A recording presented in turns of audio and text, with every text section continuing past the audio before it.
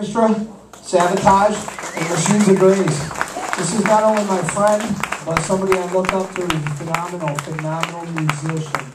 And thank you, Jeff. Pay close attention. This is going to be awesome.